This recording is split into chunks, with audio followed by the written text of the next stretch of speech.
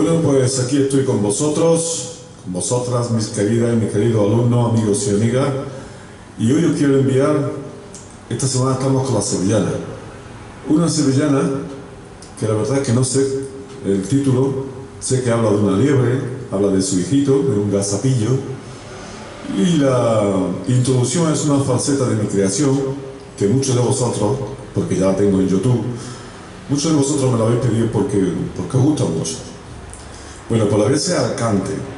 Voy a cantar, eh, pues para que veáis tampoco que no es muy difícil el acompañamiento a una sevillana.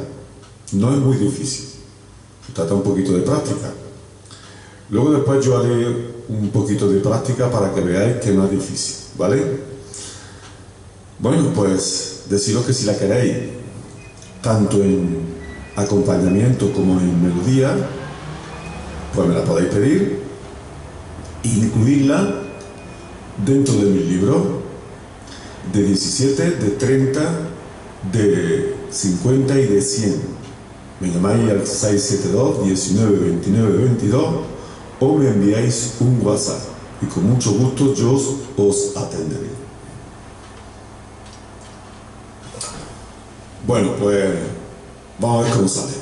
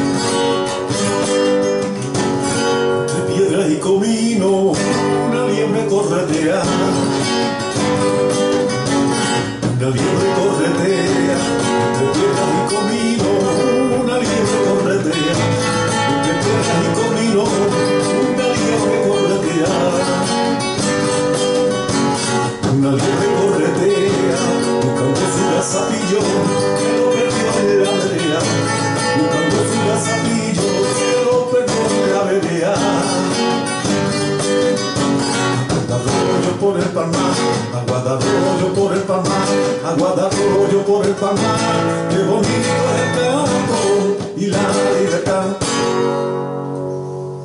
¿Os dais cuenta qué bonita? Bueno, la sevillana sabéis que tiene cuatro partes, yo solamente voy a hacer la primera y queda preciosa, queda preciosa. Además incita, esta sevillana cada vez que la he cantado y la he tocado en los patios de Córdoba, en fin, cualquier sitio, incita a la gente a bailar la sevillana, que es un arte también. Bueno, pues cuento un poquito lo que tiene que ver con, con el acompañamiento. Fijaros.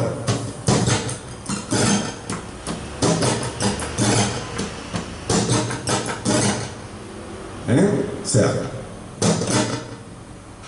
toque para abajo, toque para arriba, pero no esto, sino seguidos. Y luego uno pequeñín para arriba, ¿vale?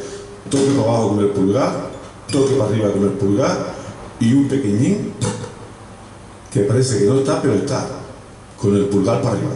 Y luego el rajeo.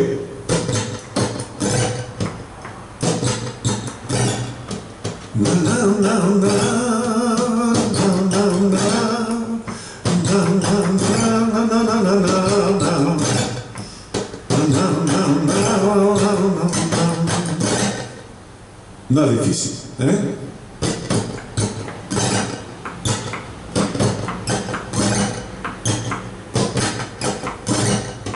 Si queréis dar un golpe, un toque con el pulgar para arriba, después del rajeo, pues entonces serían cuatro movimientos que también quedan muy bien, ¿vale?